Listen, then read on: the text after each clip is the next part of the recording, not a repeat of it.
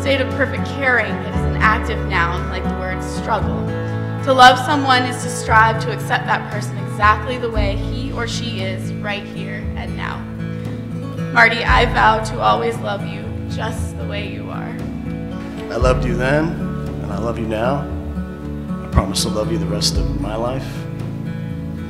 I'll take care of you. You'll take care of me. And that's all that we'll need.